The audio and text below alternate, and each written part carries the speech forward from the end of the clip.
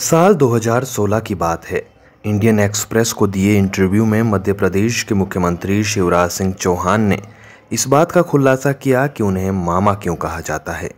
उन्होंने कहा कि मैं साढ़े सात करोड़ जनता को अपने परिवार का ही सदस्य मानता हूँ। उनके सुख दुख में हमेशा साथ खड़ा रहता हूँ। उन्हीं के लिए योजनाएँ बनाता हूँ तो उनके दर्द को समझता हूँ। मैं समझता हूँ कि गरीब का दुख क्या होता है। शिवराज ने कहा था कि मुझे जब मुख्यमंत्री का अहदा मिला, तब मैंने लाडली लक्ष्मी योजना बनाई। मैंने हर कदम पर बेटी के जन्म से लेकर बेटी के अंतिम संस्कार तक सरकार को उसके साथ खड़ा कर दिया। बेटियों के मन में एक भाव बनता चला गया कि हमारा मुख्यमंत्री हमारे बारे में सोचता है, इसलिए उन्होंने मुझे मामा कहना शुरू कर दिया। बेटियों ने पहले मामा कहा तो फिर बेटों ने भी मामा कहना शुरू कर दिया। बेटियों को साइकिल दी तो बेटों ने भी मांग की। मैंने फिर बेटों की भी मांग पूरी की। आज हर बच्चा चिल्ला चिल्ला कर मुझे, मामा कहता है, मुझे खुशी होती है, हमारा दिल का रिश्ता बन गया है। खैर, ये तो बात पुरानी, लेकिन शिवराज सिंह चौहान को यूँ ही मामा नहीं कहा जाता।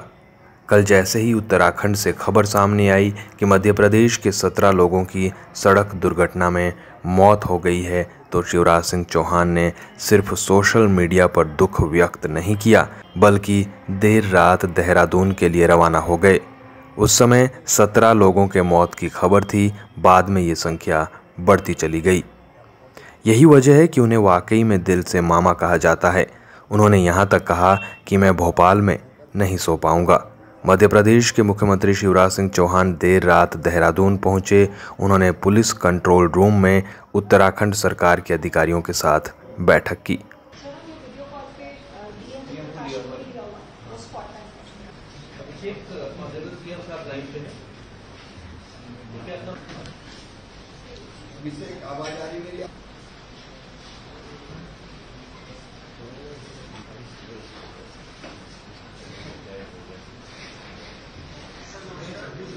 नमस्कार, अलावा मैं रेस्क्यू का अपडेट चाहता था।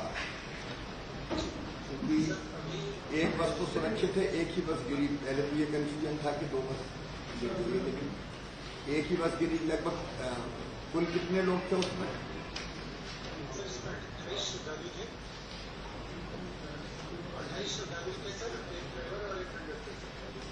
कुल मिला के बीस थे ड्राइवर कंडक्टर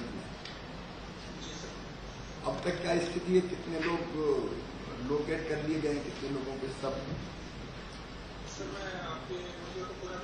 आप पूरा एक बार बता दीजिए। बता दीजिए हमारे आपदा पेट्रोल के माध्यम से और यहाँ पे जो स्थानीय लोग थे उनके द्वारा टेलीफोन करके बताया गया कि ऐसी घटना हुई है उसके तुरंत बाद सर हमारी S D R F team वहाँ से लोकेटेड थी तो वो इमीडिएटली मोबिलाइज हो गई स्थानीय पुलिस मोबिलाइज हुई और लगभग आधे घंटे के अंदर ही सर रेस्क्यू ऑपरेशन स्टार्ट कर दिया गया सर और सर रेस्क्यू ऑपरेशन जब स्टार्ट किया तो कुल छह लोग ऐसे थे जो घायल अवस्था में थे तो इमीडिएटली स्टेबलाइजिंग प्रायोरिटी के लिए सर यहाँ एंबुलेंस से हॉस्पिटल के लिए रवाना किया गया और रवाना होते हुए सर ऑन द वे दो लोग कोलैप्स कर गए और चार व्यक्तियों को हम स्टेबलाइज करके सर हायर सेंटर के लिए रेफर कर सके सर वो देहरादून के लिए सर रेफर हो गए हैं और उनमें से सर मेरी बात हुई है सर नेक्स्ट हॉस्पिटल में दो लोग पहुँच गए हाँ मुझे पता चला ये बताए दो लोग तीन लोग पहुँच चुके हैं। आपसे चर्चा के बाद हम नेक्स्ट हॉस्पिटल ही जाएँगे। अभी कितने सब लोग हो गए हैं कितने ऊपर ला पाए हैं क्या स्थिति बहुत बता दीजिए जो बॉडीज थी सर अभी तक बीस बॉडीज हमें सर मिल गई है यहाँ पे और उनको ऊपर लिया है सर रोड पे और जो बचे सर सात बचने हैं इसके बाद तो उनमें से सर पाँच बॉडी सर नीचे मिल गई हैं अभी उनको ऊपर लाने का अभी प्रयास जारी है सर और दो व्यक्तियों को सर अभी और लोकेट किया जाना है सर तो सर इस अभियान में सर मेरे साथ यहाँ पे एस पी प्रकाशी सर साहब हैं और D S C Garhwal sir भी हैं और सर जिला प्रशासन की पूरी टीम यहाँ पर उपस्थित है सर इस समय मैं पूरी टीम को धन्यवाद दे रहा हूँ घटना की जानकारी मिलते ही आप तत्काल एक्टिव हो गए थे। अब जो दो सब लोकेट होना बाकी है।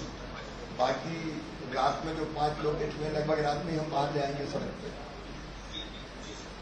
उनके पोस्टमार्टम का प्लान क्या है? सर हमारे सर सीएचसी है जो सामुदायिक स्वास्थ्य केंद्र है सर नौगांव में वहाँ सर पोस्टमार्टम करा जाएगा पंचनामा कार्रवाई की जाएगी उसके बाद सर इसको ट्रांसफ़र किया जाएगा जो दूसरी बस साथ में थी उसके सब लोग सुरक्षित हैं। जी सर सुरक्षित वो कहाँ हैं अभी वो लोग जो दूसरी बस में थे।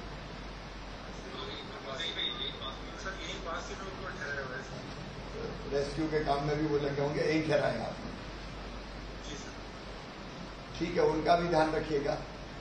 और सवेरे जल्दी हम लोग भी वहाँ पहुँच जाएँगे घटनास्थल पर। माननीय मुख्यमंत्री जी से मेरी बात हुई थी। अर्ली इन द मॉर्निंग हम लोग भी यहाँ से निकलेंगे प्रोसेस हमारी ये हो कि जल्दी पोस्टमार्टम करवा के मैं परिजनों से बात करूँगा फिर।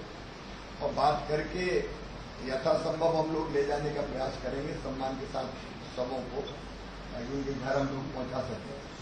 पोस्टमार्टम जितने जल्दी कंप्लीट हो जाएगा, हम बाय रोड या बाय एयर हमारी टीम वहाँ से भोपाल से संपर्क कर रही चीफ सेक्रेटरी वगैरह सब। कैसे ले जा पाएँगे सवेरे हम उसकी व्यवस्था करेंगे। लेकिन रात में ये पूरी व्यवस्था हो जाएगी कि इनके सब सब ऊपर आ जाए और सवेरे जल्दी पोस्टमार्टम हो जाए। बाकी दूसरे बस के जो लोग हैं उनका आप ध्यान रख ही रहे हैं। उनको ढाढ़स बनाइए सांत्वना दीजिए। और जो अस्पताल में घायल हैं, उनसे मैं मिलने भी जाऊँगे। ईश्वर की कृपा रही तो उनको बचा पाएँगे। मैं आप सबको मुख्यमंत्री जी को, पूरी टीम को जो कंट्रोल रूम में बैठी है, और घटनास्थल पर जो हमारे साथी हैं डीएम है एसपी हैं डीआईजी हैं, सबको मैं एनडीआरएफ और एसडीआरएफ की टीम को भी मैं धन्यवाद देता हूँ। देर रात को वो काम में लगे हुए हैं, पीड़ित मानवता की सेवा का एक उदाहरण आपने प्रस्तुत किया है। और सवेरे फिर मैं स्वयं भी घटनास्थल पे आऊँ अरे यही तो हमने आप लेटे रहिए आराम आराम से लेटे रहिए। जी जी मुख्यमंत्री जी। माननीय शिक्षक रहा पचास साल का आपने फ़ोन करके बताया था ना? लेटे रहो। आराम से लेटो। आपकी तबीयत तो ठीक है? जी पत्नी है उनको सब नहीं अभी भी ठीक है। अब प्रोसेस पूरी अपने नेक्स्ट अस्पताल है यहाँ सारी बेहतर से बेहतर व्यवस्था हम कैसे कैसे हुआ भी हम लोग को जब खर्चा भागा हम लोगों ने गाड़ी पता नहीं सर उनको भी झीम मिला के गाड़ी में कुछ नहीं अचानक हो गया। अचानक खराब या पलटी खाती चली।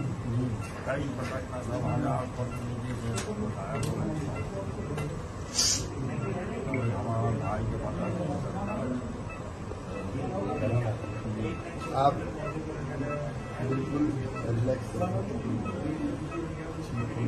ये बाकी सब इंतज़ाम जो हो सकता है, हम वहीं से दौड़ के आए एजेंट आ गए हम लोग सब जो अच्छे से अच्छा होगा वो करने की कोशिश मैं आ गया हूँ आपका मुख्यमंत्री शिवराज सिंह पहचान गई अब बिल्कुल चिंता मत करो। नहीं अब सब पूरा इलाज करवाएँगे। ये विजेंद्र भी आया बिल्कुल चिंता मत करो है ना? यहाँ अच्छे अस्पताल में ले आए हैं। सारी सुविधाएँ है ना? यहाँ सब सुविधाएँ।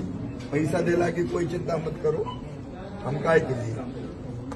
है ना? सब व्यवस्था करेंगे हम अभी अपने इलाज पे ध्यान डॉक्टर साहब देख रहे हैं। अभी कर रहे हैं अभी आँख में हाथ मत लगाओ। अब ये डॉक्टर साहब कर रहे हैं पूरा है ना? पानी भी पिलाएँगे पानी भी पिलाएँगे। अभी अभी चिंता मत करो सब करेंगे। ये सब डॉक्टरों की टीम खड़ी है पानी भी पिलाएँगे सब व्यवस्था करेंगे। अब जो अच्छे से अच्छा होगा वो हम सब करेंगे। नहीं अभी सबको देख रहे हैं। ठीक है ओके ठीक है। ठीक है बेटा ठीक है।